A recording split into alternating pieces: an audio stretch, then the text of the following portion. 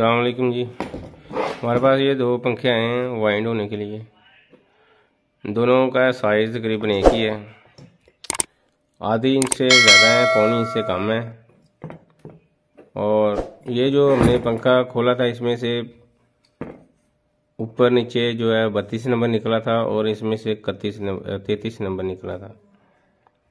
इसकी ज़रा speed customer का कहना था कि जेनवनली कम थी ज़रा। तो हम इंशाल्लाह इसमें से, इसमें हम जैसे भी हमने बनाना हो कस्टमर के, बता देता है आगे के हमारी स्पीड पंखे की सही थी, नहीं नहीं सही थी, हम पूछ लेते हैं कस्टमर से। उस लिहाज से हम जो फार्मूला होता है वो सेट कर लेते हैं। लेकिन जब भी हम फार्मूला चेंज करेंगे तो उसके साथ वाट का भी फ़र्क पड़ जाएगा, क्योंकि मोटी तार डालेंगे तो उसके थोड़ा सा पेड़ बढ़ जाते हैं। तो हम इंशाल्लाह इसको बनाते हैं।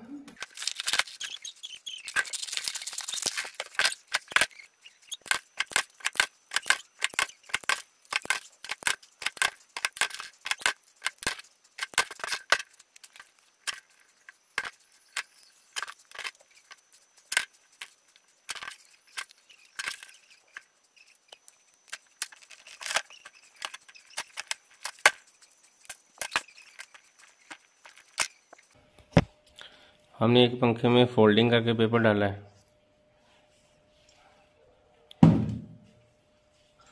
और जो दूसरा पंखा है, उसमें हमने सीधा ही पेपर डाला है। अब इसको बनाते हैं, इंशाल्लाह। दोस्तों, हमने छत्तीस लाट पंखे हमारे पास जो दोनों आए हैं बनने के लिए, इसके लिए बड़ी डाई पहले लगेगी। इसके साथ हम छः कोयल डालेंगे या बारह भी डाल सकते हैं।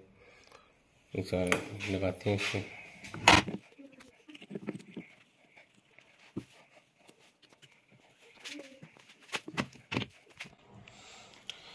ये छत्तीस लाल पंखा है।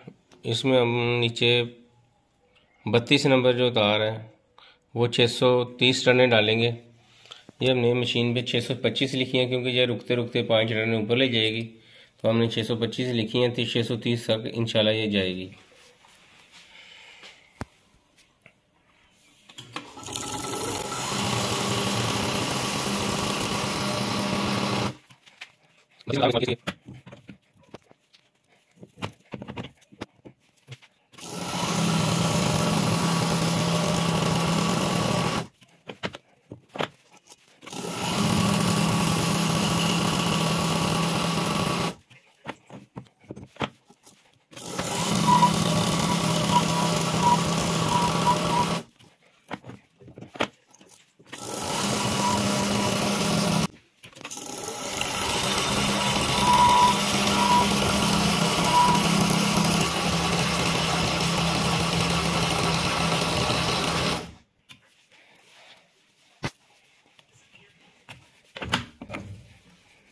एक पंखे को हमने छः छः कोयल डाल के बनाया है। अभी जो बत्तीस सलाड ये छत्तीस सलाडी पंखा है, दूसरा भी जो है, लेकिन उसमें हम बारह कोयल डालेंगे। इसमें हमने छः तो छः सौ तीस टनें डाली हैं, बत्तीस नंबर की। उसमें हम बत्तीस नंबर की तीन सौ तीस टनें बारह कोयल डालेंगे इन तार जो है, इसमें वो बत्तीस नंबर ही हम डाल रहे हैं। और यहाँ से हम टने जो हैं, उसको तीन सौ तीस कर रहे हैं यहाँ से 330 करेंगे तो इधर हमारी 335 ले लेंगे 670 टन चल जाएँगी। इससे ये होता है इस तरह से कोयल डालने से ये होगा कि जो हमारी तार है, वो ज़रा कम लगेगी और टनें भी ज़्यादा चली जाएँगी। क्योंकि जब ये कोयल बड़ा होता है तो उसका डाया बढ़ जाता है तो तार भी ज़्यादा लगती है।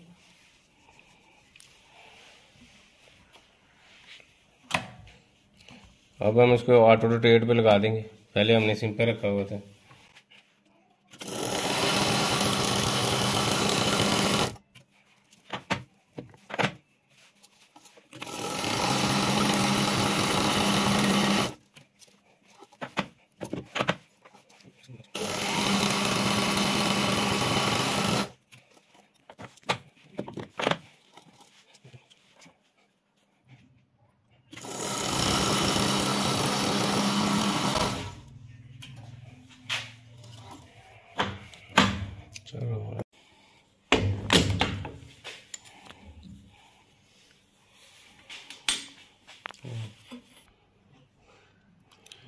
इसमें हम डालने लगे हैं तीस नंबर की तीन सौ दस टने हम यहाँ पे तीन सौ पाँच सेट करेंगे।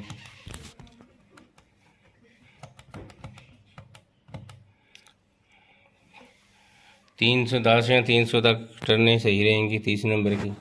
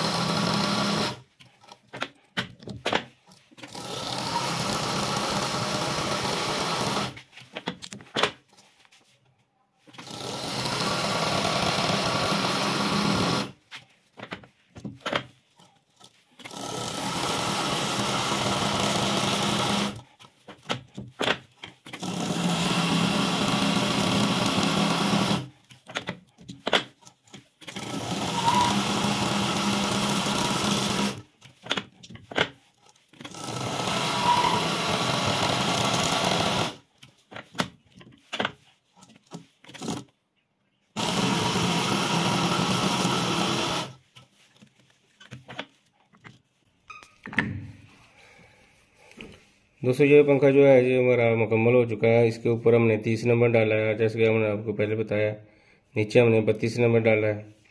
जो हमने फार्मूला डाला है, इसमें थोड़ा सा वज़न तो ज़्यादा चलेगा, डलेगा, इसमें तार ज़्यादा डलेगी। लेकिन ये है कि कस्टमर खुश हो जाएगा, इसकी स्पीड भी अच्छी हो जाएगी, और ये कम जो बिजली इस्तेमाल करेगा, क्योंकि इसकी टर्नें हमने ज़्यादा रखी हैं, तार ज़रा मोटी कर दी है, और स्पीड काफ़ी अच्छी हो जाएगी। अभी जो इसके जो कनेक्शन करने का तरीका कार है ना वो ये है कि हम आपको बता देते हैं इधर ही। क्योंकि अगर हम सारा प्रोसीजर आगे का भी डालेंगे तो वीडियो काफ़ी लंबी हो जाएगी। दोस्तों, ये जो वाली, हमारी पहले भी इस पर वीडियो यूट्यूब पे हमने अपलोड की होगी पड़ी होगी हमारे चैनल पे। अगर ये जो वाली वायर है ना, ये हम आगे की तरफ़ लेके जाते हैं तो इसके अंदर वाली तार के साथ, ये इधर वाली तार के साथ इसका कनेक्शन होगा। और ये हमारी बन जाएगी मेन तार और ये हो जाएगी कैपेसिटर की। दोनों तारें ये कैपेसिटर की हो जाएँगी और ये मेन हो जाएगी। अगर ये तार हमारी पीछे चली जाती, यहाँ से हम शुरू करते इसको तो ये हमारी मेन बन जानी थी और ये कैपेसिटर की मेन और ये दूसरी कैपेसिटर की, दो ये कैपेसिटर की बन जानी थी। इस तरह से हमारे ये कनेक्शन होने थे। इस तरह से ये हमारा पंखा मुकम्मल हो चुका है। उम्मीद है आपको वीडियो अच्छी लगी, अच्छी लगे लाइक शेयर और सब्सक्राइब ज़रूर करें। आगे से इंशाल्लाह मज़ीद जो पंखे आएँगे, उसके लिए आज से आपको बताते जाएँगे और बनाते जाएँगे। अल्लाह हाफ़